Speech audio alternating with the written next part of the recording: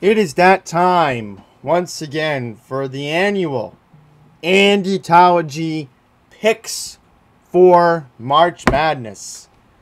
And this year, for something different, we're going to add the ladies. Yes, so the ladies get their appreciation just like the men's. So without further ado, I'm going to go to the ladies first, and then we'll move on to the men's side of things. So I'll title each one as we go along, and I'll have it time stamped. Okay. So first up, I think I'm going to go with the obvious here in this side of the bracket. I will go with South Carolina. And I'm going to pick Marquette. Eight nines are pretty hard to pick. Go with UCLA, Oklahoma, Creighton, North Dakota, Arizona, Maryland on this side of the bracket on the left. South Carolina will move on, and I think they will play ladies UCLA right here. Notre Dame has had a good team in the women's side this year. They will end up playing Maryland. I think it will come down to Maryland playing South Carolina. South Carolina will move on and will go to the Final Four in Dallas. Now we move on to the upper right side of the bracket. I'm going to go with Indiana. I will take Oklahoma State. I will go with Wazoo, Villanova, Michigan, LSU, and I'm going to pick an upset here. I think the number 10 seed Princeton will upset North Carolina State here, then Utah. And I think this is where things will get interesting. I think it will be Princeton playing LSU, but the ride for Princeton ladies will end. LSU will move on to the Elite Eight. Then you got Indiana. Indiana will play LSU. We go to Indiana right here. So here are my first two that will be in the women's side. South Carolina and then Indiana. Now we move to the upper right side of the bracket. We're going to move right down here. So I'm going to take Virginia Tech. They've had a pretty good year so far. I will take USC, Iowa State, Tennessee. I'm going to go with an upset here. And I think it will be St. John's Women's that move on here. And I think they're going to make a run. But here's the catch for the ladies of St. John's right here. This is where things get interesting. They're going to lose to UConn Huskies. You got to remember, even though UConn is a two seed this year, UConn has always been dominant. Okay? UConn has always had a good women's program. Then they move on here. Then we're going to go with Iowa. Wait, I had Tennessee right here. I'm not going to go against Tennessee. So I'm going to keep Tennessee here. And figuring out the bracket right, it would be Tennessee here. And who would Tennessee beat, you may be wondering? Virginia Tech. This is going to be a pretty lopsided part of the bracket. So I'm going to go with clear cut crazy. UConn will play in the women's final four. Right? And I'm going to make a crazy prediction that we're going to have UConn playing South Carolina. But who will South Carolina play? You may be wondering. This is the road for South Carolina. Stanford moves on. I think Gonzaga women's moves on. Stanford should make it. Louisville Women's. Okay. This is where I think it'll end up. So let's go Colorado, Duke, Duke here. And just figuring out the bracketology here. So we'll put Iowa here. Yes, so that's where I think it will end up. Iowa does play Stanford. And that's what leads up to your final four right here. Okay? So now we're going to move on to our championship game. And I think, even though I'm going to be crazy for saying this, but I think it will be UConn winning it all. Okay? And I will go with a final score of 67 to 66 with a buzzer beater in Dallas. So there you have it. I mean, there is my bracket. And I'm going to have UConn going all the way in the women's. All right. Now to go to the more trickier men's side of things. And we're going to start off with the south part of the bracket. I'm going to go with Alabama and I will have them playing Maryland. The ride for Maryland will end at the second round. Bama easily wins. I'm going to go with an upset here, and I will take the 12 seed to beat San Diego State because I see some weakness in San Diego State. Don't ask why, but I could see it happening. Virginia should move on and they will play Alabama. I will go with Creighton. I will go with the defending champs Baylor moving on.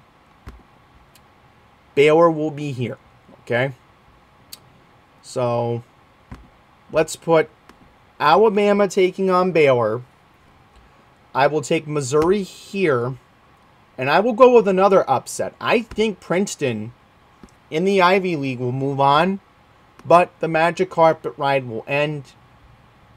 Bama does make it to the Final Four in the south side of the bracket.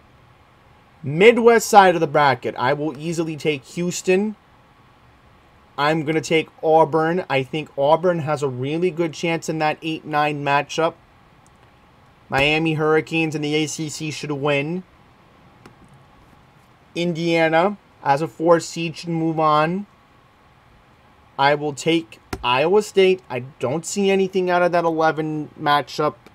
I just don't see it. Xavier, right here, three seed. I will go with Texas A&M. They've had a pretty good season. And this will lead to a pretty interesting matchup between Texas A&M and Texas Longhorns. Now, call me crazy here, but I'm going to go with a crazy theory on why I think the Texas Longhorns can make it to the Final Four. So, why am I going with Texas? I think they can beat the three seed, and then once you get over to here, okay, this is where things get interesting. I think Houston will beat the University of Indiana. All right. So this is where I think Texas will move on. I'm sorry, but I know everybody's focused on all these Texas universities this year, and that's fantastic. But I'm telling you right now, Baylor is not going to defend the title. Alabama has really built their college team this year. They've really worked their way up. They've built up for this moment. This is their year to make it to the Final Four at least. So, South, Midwest for me has been decided. So, now what I got to do is go to the bottom part of the bracket and we're going to go to the east side. Kansas easily wins here.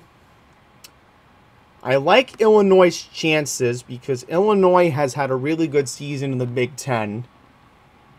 I will go with VCU, another 12 upset. Now, this 4-13 matchup between UConn and Iona. I- I've been thinking about it a lot this week. I've had about 48 hours to think this through. And I'm just going to be honest here. I think there is a good chance we're going to see a 12 13 matchup in the second round. But for Rick Pitino, Magic Carpet Ride ends here. And I easily got Kansas moving on to the Elite Eight. So that's where I will go with it. The Bullfrogs of Texas Christian University should easily move on. And Gonzaga will be down here. Okay, so Gonzaga should face Kansas. Now on this side here, I think I'll go with Boise State and I'll go with UCLA. And I think Gonzaga does have a good chance to beat UCLA in the Sweet 16. I think that's going to be the game to watch in the Sweet 16. It could go either way in that 2 3 matchup. But I think Kansas does move on, and I do see them making a run to the Final Four. Okay? So let's recap where we are right now in this bracket. We got number one Alabama, number two Texas, and number one Kansas. All right? Now, again, I think the Longhorns still have a shot here.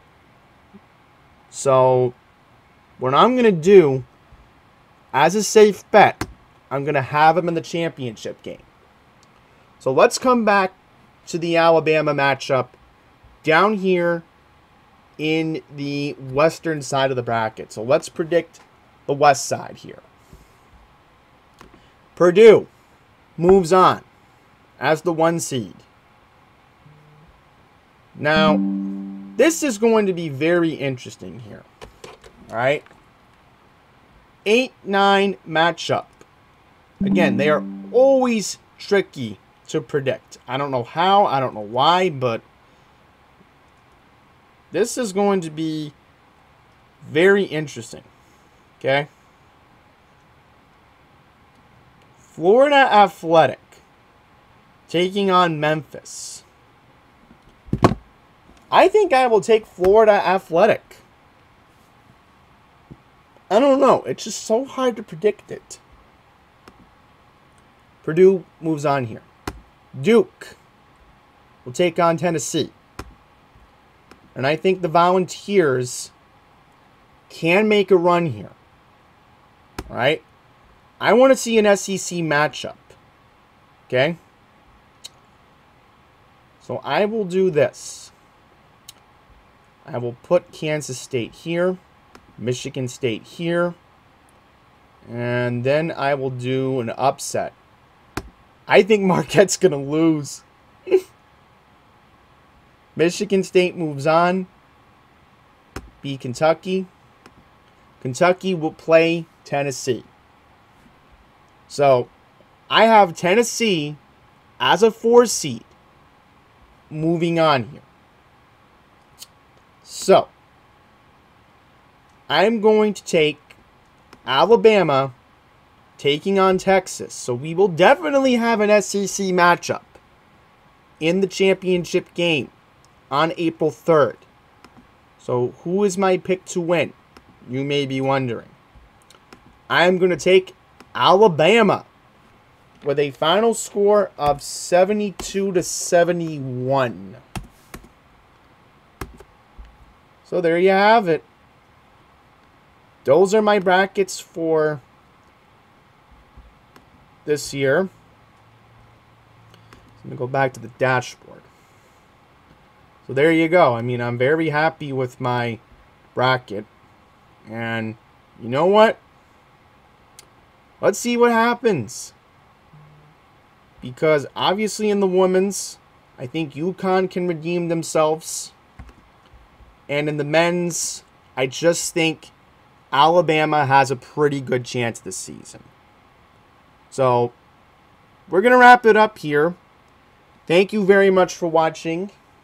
And until the next one, please take care.